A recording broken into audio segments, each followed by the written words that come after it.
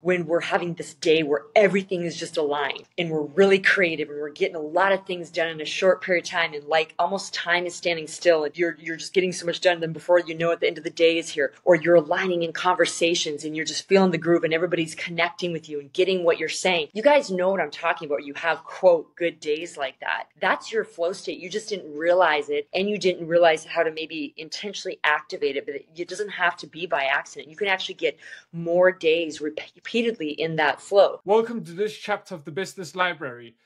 In this chapter, we're going to be speaking about flow state. And I have Je- Jennifer Watson on, who is a high performance coach that helps leaders and speakers break through and find their passion and really accelerate their life and their purpose. And also entrepreneurs, because otherwise we wouldn't be having her on here. So it's a pleasure having you on.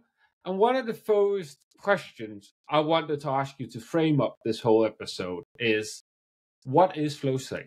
Yeah, that's such a great question. So, so many business leaders, right, are what I will call high performers, people that are naturally driven, people that want to master their craft or whatever they're giving in any capacity of the world, including their business. So, high performance, you know, top performance has always been a word that a lot of people utilize and want to tap into as business owners.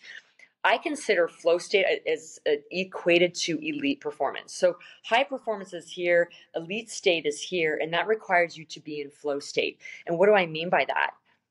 Flow state truly is your unique way that your body gets into a state that is more highly productive and more high performing. It is unique to each of us, but when you understand how to actually tap into your unique way that your body likes to roll, that your body and your brain is at its peak most of the day, it allows you to create sustainability in that. When you go about it understanding what is unique to how your body and your brain thrive in what communities. The problem is with just trying to force and grit and discipline through really trying to be high performance all the time. You're either exhausted by the end of the day, or the quality isn't quite there, or it's unsustainable what I teach, and as a practitioner and healer by trade, that's where I kind of learned a lot of these neuroscience techniques to understand how the brain and the body chemistry truly work optimally, and now how it works optimally for you. And there's activities that you can do to optimize your unique kind of genetics or DNA to allow you to stay in higher levels of peak performance, elite performance for a sustained period of time. So I would say the byproduct of flow state is elite performance, which for me is a little bit above high performance. It allows you to get a little bit more of a nudge, but actually feel high energy, high vitality doing it because you're in your unique flow. You've tapped into your unique body brilliance to bring out the high performance as a natural byproduct, elite performance as a natural byproduct. The tools I use with my clients to actually get you into your unique flow to allow you to be elite and high performance is profound and it doesn't take a lot of things. It's just consistently getting on the map to do them. I agree with you. My definition of flow state there's nothing above it mm-hmm. like there's nothing more productive than flow state that's yeah. the absolute peak well it's your highest potential you guys that's what i mean by flow state because the byproduct again is elite performance or high performance. When you're in your flow, and I want to go a little deeper on this description because some people are like, well, what do you mean totally? think about all of us have had this at some point. You think about it too. When we're having this day where everything is just aligned and we're really creative and we're getting a lot of things done in a short period of time and like almost time is standing still and you're you're just getting so much done then before you know it the end of the day is here or you're aligning in conversations and you're just feeling the groove and everybody's connecting with you and getting what you're saying you guys know what I'm talking about. You have, quote, good days like that. That's your flow state. You just didn't realize it and you didn't realize how to maybe intentionally activate it, but it doesn't have to be by accident. You can actually get more days repeatedly in that flow. When you're in a flow state, day after day, end of the week you're getting more done. End of the week you've had more quality and you have to go you don't have to go back and redo things because the quality was there. So that's what I mean by that, you guys. All of us have experienced it. Guaranteed you have, right? just like the runner's high. You know, we've all had that flow, but knowing how to access it consistently is what allows you to have that elite high performance sustainably no matter the environment and this includes a lot of businesses that go through growth and change. We all have it right? You know we all have times where we're going to have problems in our business or growth and challenge problems. But when you're really in this flow it allows you to stay grounded in your unique brilliance your unique gifting the way that your brain and body want to feed into the world. And game over. Things get really easy for you. So everyone just i wanted to clarify that definition even a little bit more because truly the byproduct is elite high performance. If you understand to start here versus trying to push grind grit to get high performance that's not sustainable and it's exhausting okay? The way we're talking about the way we're going to go into it today is giving you frameworks to start getting into flow more consistently, more powerfully, no matter your environment. When you got this down and you're in your highest potential self, and by the way, that's going to show up differently every day because no day is perfect. When you learn how to go with what's in the present moment and cap it out, game over. You guys become unstoppable in your business, in your team, and beyond. So you mentioned framework. Mm-hmm. Um, I think now that we, we got clarified what is flow state, that framework, like how do we enter it? We know yeah. it's good. We like it. Mm-hmm. But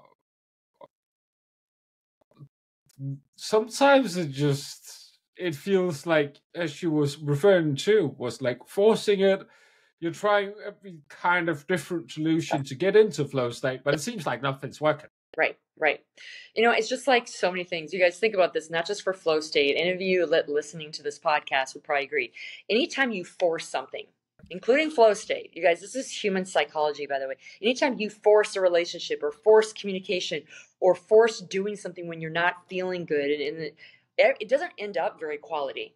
you guys, this is part of psychology because your brain and body don't do well in a forced situation, no matter what any you know, like old school traditional high performer thinks. You guys, grit, discipline, pushing through things is not how you get anything done well, including flow state. I want to be very clear. This is science based, everyone. And by the way, I'm not dogging grit, discipline, perseverance. What I'm saying is when you're trying to force something to happen, including gritting, disciplining through it, it's not going to go anywhere fast or end up being not very good quality. There is a place for discipline and grit there's place for perseverance. I talk about this all the time, but how you enter into grit and discipline is very vital to look at. And in flow state, we acknowledge that that it's not about force and many things in your life when we force i just said it things don't go well same thing with flow state when you learn we'll go through some frameworks that i can teach you guys today to help you with that but understanding on a bigger picture flow state, quality of, of performance, elite performance does not happen consistently when you force any type of technique, any type of behavior, any type of activity. And I know all of you listening have examples of that. And where maybe it was pretty good performance, but not where you wanted it, and you feel yucky at the end. So, and this is in so many aspects of our life, you guys. Our brain and body need flow, need ability to be in a space that feels easy, that it feels safe to actually do its thing a fight or flight state, which is where we go as high performers, push, push, and 20 things a day, our brain and body chemistry shut down. Did you guys know that? When we're in stress and push and push and push the performance, you guys, even the Olympi- Olympians know this, okay, that just got done with the Olympics. They are not in fight or flight, you guys. They have endorphins going because they're excited to hear the gun go off and perform. But they have learned, many of the high level athletes have learned what I'm talking about, that we have to get into a calm state and ease and flow to actually perform well. And this goes for you. So, first, understanding what the definition is and what we're talking about, is the best place to go if you do want elite performance. What do I mean by frameworks? You guys, there's something that I teach in my program. It's pretty high level framework to help a lot of high performing leaders that have a lot of things going on and want to create high performance for them and their team consistently with challenge or change. But I can give you a few tools today to start creating traction and getting more used to what flow even feels like and how to accelerate that. Um, so I'd love to share some of those techniques right here if you'd like me to share. Go ahead. Go ahead. Yeah, yeah, yeah. yeah no, that's great. I would not to know. Yeah, yeah, yeah. So you guys, as I said, all of you have felt it at some point, and what we're trying to do is get you to do it consistently because that's associated to higher, consistent elite performance and doing it in a state that feels easy and vital and high energy. So for those of you who are like, well, I feel it once in a while, but I, I'm not sure what brings it on or how I can engage it. You guys, first and foremost, it requires you to get used to that feeling more and more and more. And then some of this other stuff I'm going to give you comes into play naturally to understand what makes you feel and flow and fully you and like things are just happening because you're communicating well and you're performing well? You got to start experimenting with things. So this is what i have people start doing. Go to, around different people. Go around different events or activities in your local community and start connecting with these people. Do they make you feel really high energy? Do they make that you feel more you? Like you just find that you riff with them really well or that you perform with them really well. You just start getting in environments where you're starting to go, wow, this environment makes me feel good and I get a lot done and a lot of quality. Wow, this person and this community of people help me actually be more productive and get creative ideas for my content creation right? Because this is what I mean is getting around people and places and environments and see where you perform best. And this guess what you do from there? You start gaining evidence. You start going, wow, this environment brings the best out of me. These people bring the best out of me. And you start making evidence of that and you start bringing more of those type of people and environments into your world. That is the first step. Okay. Always looking at people and environments or activities. Okay. People, environment activities that you have found consistently and that you can practice right now that brings out high quality that brings out what you feel the real you is and your gifting and you want to start being around those people and those environments more okay? And that may take you time. For some of you maybe you're into this more and you're like yeah i know what that is. Others you need to get on the mat and practice this but that is the first thing you want to do and then just keep leaning into those environments and leaning into those people and activities more and more often the second thing I encourage people to always look at, now that you've found the environments and people that help you get in that flow, because this is going to sound really funny, but this is something I teach all the time. And this sounds so basic. We get way too much information thrown at us every single day. Every single day, whether it be social media we're on, we're on the computer, we're getting like 400 or 500 times more information thrown at us than like Laura Ingalls Wilder Day, like 100 years ago. Our brain and our nervous system can't handle that. This is why a lot of us feel really like jittery in the middle of the day or scattered and we feel like we can't concentrate on something because we're bringing in so much information. Your body and brain need to be bored. You guys, this is my second technique I'm going to give you. is going to sound really funny. Your body and brain need to be bored to process everything that you've had going on in the day and allow it to clear it out and activate other things that you want to use later that day. Creative zone, solution oriented zone of your brains. Okay. So, what I encourage people to do we hear this all the time, but get off the phone, you know, um, get away from your um, computer for a while. But I'm going to take it one step fur- further find periods of your day where you're unplugging from technology and from information and go and sit in a chair and stare at a blank wall. Stare at a blank wall you guys. Your your brain needs to be bored so it can facilitate some of this information that you've been processing all day. Think about when you eat food right? You allow it to digest. Think about when you run out the door and you don't let it digest. You kind of get an upset stomach right you guys, the same thing. Might be why my right. stomach is upset so much. Well, you guys, seriously, I you know I'm a practitioner, PT by trade, and I used to do a lot with nutrition. And I always talk about sitting down and eating your food so your body can actually process it effectively and get the right nutrients extracted from that food. When you're right out the door, you guys, your body doesn't do that as well. It's the same thing with information, you guys. That's energy. That's something your brain has to process. When you actually look at a blank wall, not something like a picture where you start process, like literally look at a blank wall. You guys, I do this on days where I know I have to get a lot done or there's a lot on my plate, and I literally would just sit in a chair and look. Like I literally have a blank wall right in front of me right now. And I just sit there for five minutes. It allows my brain to process some things that I've been looking at all day. It allows my body to settle away from the screen go, oh, wow, it's safe to process this. She's not running and going on to the next thing. Your brain and body want to be bored and they want to feel safe. When it's bored, it also allows it to feel safe to actually process some of the stuff we're talking about. So you guys, I'm telling you, this is this is magic for people. This is neuroscience at its best, okay? First, find out where the people and places and activities that make you feel like you're high performing, that your giftings are coming out, that you're feeling so you and in your jam. The second, have things peppered throughout your day that you have boredom. Allow your brain to reset because then when it does and it clears all that stuff out, it's like, okay, I can now do the things you want me to do or come up with creative ideas for content or go to that staff meeting for the team and come up with solutions for the problems that we're having maybe in the growth of our business okay? You guys there are so many other tools that are deeper to that and i will say these are scratching the surface but you're still going to get some momentum in that. So be bored. Just look at a wall during the day. The third technique I'm going to give everybody is you got to be very careful not to hop around on tasks a lot of people I work with have a lot of things going on and they have people coming to them, right? And demanding things from them. Or maybe you're ADHD, you guys. And I've worked with a lot of high performers like that where they have a tendency to hop around um, without get staying focused on one thing. Side note, this is why I coach because depending on the person and their physiology, there's certain techniques that they need to create more flow. But I'll say this from the, from a long shot in a short shot, no matter who you are, whether you have ADHD or not, when you have a lot of people coming to you or you're getting notifications on your email, you can't actually do what you are doing right now well. Okay, so I encourage everyone, whatever project you're working on, you want to work on it for a minimum of 30 minutes to 90 minutes. Okay, it gives your brain an opportunity to stay focused on one thing. If you're checking your phone, you guys, every five minutes when you're working on a task for 30 minutes or 90 minutes, your brain actually does get distracted and it takes five to 10 minutes to get back on course. Did you know that? Everyone.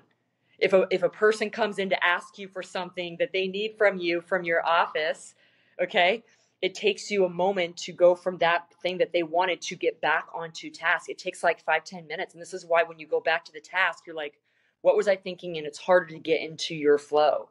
Okay, you guys, this is such a huge technique for you.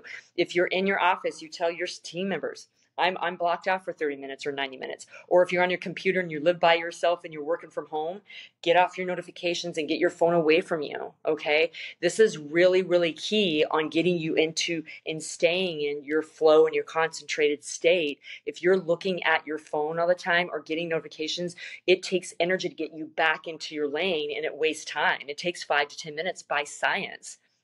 You guys, this is real stuff. Um, so, those are probably the top three things I would give to people to start working on staying in flow. Find out what activities, environments, and, and people bring you into that. I'm mastering things, I'm getting things done with quality. Repeat that. Second, pepper in things during your day where you're bored. So you can process things and then new creative things come out of you that are just genius. You can start implementing them right away. And then third you've got to set up blocks of time you guys. And maybe you have to start with 30 minutes because you're busy versus 90 minutes it doesn't matter. But where notifications are off people are not allowed to contact you you guys, because it takes too much energy to get back in your lane. Those are three techniques that if you guys start doing them daily, will start tapping you into the flow. In the order I gave you is really, really key. Okay. This will start getting you used to connecting to your body and knowing how to tap into that. If you guys are wanting more techniques, and usually we're going to need more than that because we do have a lot coming at us every day, connect with me. You know, there's a lot of um, clients that I work with to tap in at a deeper level. Um, these are just creating traction, but allow you to start feeling a little bit of this, and you'll watch your performance, your productivity, your connection with others, and connection really to yourself really take off. I like that you gave some practical, implementable tips that yeah. people can do out and take take action on. That's one thing I'm a big fan of. Yeah. Uh, never heard about staring at the wall um, sitting on a chair. I'm, I'm going to try that one. Yeah. I can attest to the power of turning off notifications on your phone. Yeah. I will, I have only like text messages because yeah. that's immediate family have that number they go to. But every yeah. other notification is basically turned off. At least yeah. the audio and the pop up part might not pop up with like a red dot, but that's it on the app. Yeah. But that really helps me to stay focused. Yeah. I will and they usually do you guys minutes. and this is a big deal with notifications that's it's true what you just said but the, the reason why i put the tools in the order i did is because you need to know what gets you into flow because if you get yourself all your notifications off and you're in a low frequency and you're and you had a stressful team meeting or whatever it was and you feel already out of flow you guys no amount of notifications turned off is going to help you So this is why I always say, you guys, they are really important. All these tools I gave you in the order I gave them is going to be the most effective. Know how to get into your jam a little bit and then turn off the notifications. And then after you're done, stare at the wall. If you've had like all you guys, there's a reason why we're going in this order because your body needs a certain step framework to activate in certain ways. This is why people will say to me, Well, I turned off all the notifications, Jennifer, but I'm still not in flow. I'm like, Well, again, we talked about that. Why coaching often is necessary to go a little deeper to find out what gets you in flow. So then all these other things we're talking about can start creating a domino effect for you. But yes, it's not that I'm saying notifications turning off is bad. It's a start, just like these techniques are starts, but ultimately it's going to take a little bit deeper level of work to get that out a little bit more, especially if it's been dormant in, for, in you for a while. It's just like any other thing. Just, I always bring up gym examples because I was an athlete for so long. It's just like going to the gym for the first time in like six, seven, eight months. You may remember how to do a bicep curl, but your body doesn't. You know, it's going to take some time to roll through that. Same thing with flow state, you guys. Same thing with intuition. Same thing with other skills you have you know in your business that you utilize if you don't work on it every day it's going to go dormant flow state is a huge thing that is missing in a lot of business leaders and they think they know how to access it and they don't you guys this is why i work with them they don't even realize how to move back into this brilliance in a powerful way. So these techniques will help. Yes, turning off notifications is a huge help, but learning how to tap into this frequency of you is very vital. So all these other things you're, you're doing, including turning off the notifications and making sure you have time to yourself, work and work well. And it is very person specific. A person that has ADHD versus a person that doesn't. A person that maybe has several people that they have to lead under them versus person that just has themselves. Like there's all these different nuances that we can layer in to create a lot of great benefits for you, your team, and that you guys end up knocking in the park no matter what comes at you, no matter what challenge comes at you. I'm telling you, this stuff makes all the systems that you have in your business that are so important, you guys, and all the to-dos you have for your team even with all that out there, if you don't know how to tap into this, they are not going to do those systems well. They're not going to perform their duties well. When you learn how to tap into this in a more powerful, consistent way, game over. Your team and you win. And, and when people get that, you, you guys, you can get through anything with flow, with effectiveness, and honestly, affect your bottom line, my friend, because that's what we care about too. Other than mm. impact, and having great impact in the world, we care about that. I care about money. It's what helps us invest in even more of our impact and others around us. So this kind of stuff affects your money. Bottom line, it does. Okay. And when I help people on this, they're like, wow, our team's not only doing better and better quality, but it's helping our bottom line. Of course it is. Because everybody's contributing to the team in a more powerful way, right? I love it. I love it.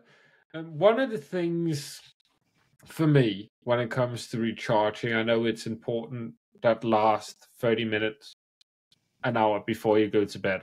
Yeah. One of the things for my personality that gets me into the right flow state for the day after is if I listen to a good book about psychology. So no, I wanted to ask if you had some books that specifically maybe go a little bit into flow state, but really yeah. give that insight perspective to ourselves. Yeah, you know, honestly, there's so many out there, you guys. It, really depends on where you're coming from as a high performer.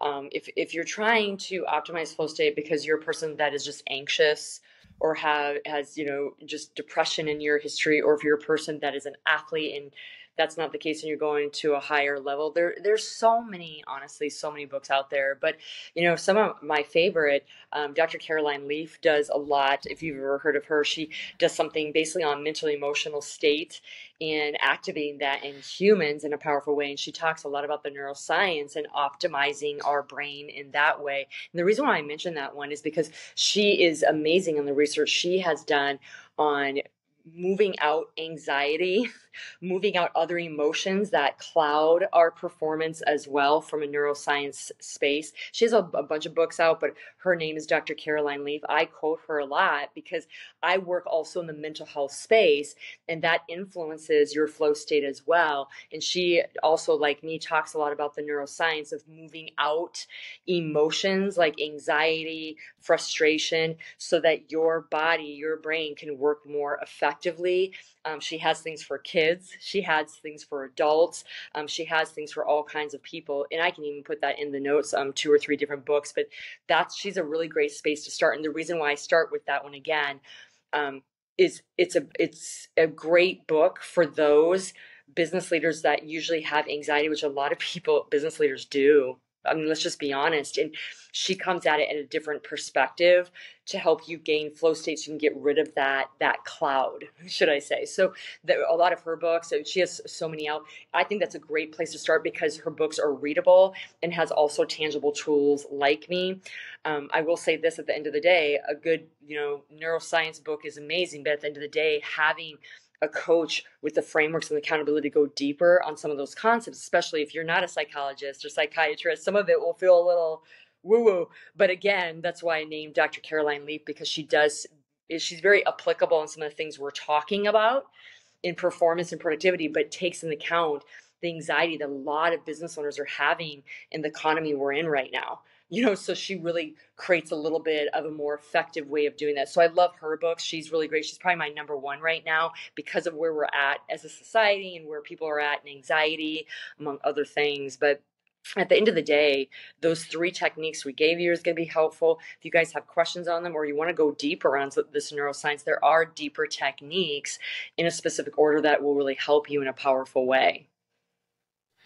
We've talked about how the body and the mind is connected and you can't really separate the two and one of the things i noticed was you did a tedx speech mm-hmm. so i wanted to ask you what happens to the body when you go on a big stage like mm-hmm. tedx yeah you know thank you for asking so my second tedx just came out in july uh, of this year 2024 and it was on the chemistry of resilience. So we've been talking about a little bit, you guys, on a very general level, the chemistry of your brain and body and how it works mm-hmm. best for you for flow state. I talk about the chemistry of resilience, how your mind and body can work for you, not against you. And speaking of Dr. Caroline Leaf, that's why I brought her up too, is um, I talk about how we can move through emotions of anxiety and other things that cloud our judgment as leaders and allow us to move that out so we can have a healthier resilience during hard times. And the reason why I mentioned that, you're like, hey, how are you getting on a stage like that? What do you feel like when you get on a stage like that? Here's the deal, everyone. I love to speak and I love to speak knowledge and wisdom that I believe can be very powerful for others. So when I look at getting on a stage, I will say this you guys, nerves don't go away. Okay, TEDx is very unique compared to other stages I've been on. But at the end of the day, we all get nervous. But anymore, I take those nerves because get this, everybody, this is chemistry as well. Fear and excitement dump the same neurotransmitters and chemicals in the body. Did you know that? It's all about our perception of where we're thinking those chemicals and neurotransmitters mean. Did you know that? So when I go on stage knowing I can either be in fear, going, I'm going to screw it up, or I'm not going to say all the things I want to say, or I'm not going to connect with the audience. Or I can take those same nerves that are the same chemicals that are being trapped in my body as they are for fear and say, I'm here to serve. I'm here to give people things that I believe are tools that can be powerful to help them in this case with my second TEDx to mm. optimize resilience in a healthy way so that you can give your impact and live to your full potential no matter the environment or adversity. And when I stepped onto that stage, that's what I, I took it as. I had the nerves. I'm like, I do any speaking stage, but you guys, I take those nerves instead of shifting them into fear. Okay, I shift them in my perspective of excitement. Again, remember your body chemistry, it's dumping the same chemicals and neurotransmitters in it. This is where your brain comes in of what are we perceiving from that? What are we perceiving from that? What are we perceiving? And we have the opportunity as humans with our higher level cortex to shift our perspective and say, this is what I'm going to do to stand into that. So, was I able to knock out of the park? You know, was I able to high perform and be in my flow state? Yes, I did get into my flow state. Now, whether it's received well by others, that's obviously not up to me. But as far as me stepping in and giving my performance, it came from a space of knowing I wanted to serve. It came from a space of me doing all these tools, among other ones that I use with my clients, to get into flow state and step on that stage and serve in a powerful way. So, um, I use these techniques. I use even deeper techniques that I show my clients. I'm a student always of my work. And and I love to speak. And it reminds me when I was an athlete, to be quite frank, about just that nerves kind of before the gun went off. And it wasn't, and I always wondered why that was because I'm not competing on stage, but I realized what it was. I wanted to make sure that I was serving in a way that would inspire people, just like when I would hopefully race and when, you know, that inspire them in a different way. I'm hopefully inspiring people with tools and frameworks that allow them to feel power and empowered to move into a space that works for them and not against them. At the end of the day, whether I'm talking about resilience, the chemistry of that, whether I'm talking about being in flow state performance, whether I'm talking about having you be in a higher level of leadership with your unique leadership traits, these are all things I talk about, you guys. My goal is always that I'm serving you in a powerful way. And if I can give you guys tools to do that as well, to move through the nerves and the emotions that we all have when we're trying to navigate things that we're trying to give to the world, I'm all about it. And that's what I'm here today for. So that's a long answer to your TEDx question, but I loved it. I put myself in flow state. I gave and served in the best way I knew how. I knew how the chemistry of my body worked, and I had to shift my perspective as well as use tools to move into that space where I could serve well. And I feel I did. And then the rest, once it's out there, it's out there. And, and I can't control that. Just like when we as business owners give our product, we can't control how that's received, but we can control how we perform it at a, at a quality that we want to perform it at. So I was happy with it. And you guys definitely check it out. It'll be a nice adjunct to what we've talked about today about flow state. Because as I mentioned, our emotions can get in the way sometimes of getting into flow. I mentioned a book by Dr. Caroline Leaf. I've mentioned some things in my my TEDx that will help with that, and we've given you tools today to help with flow states. You guys have a lot of different opportunities to really get support. But at the end of the day, I have a coach. I believe in coaches. I believe all of us need mentorship at some time, if not a lot, because we can't do this alone.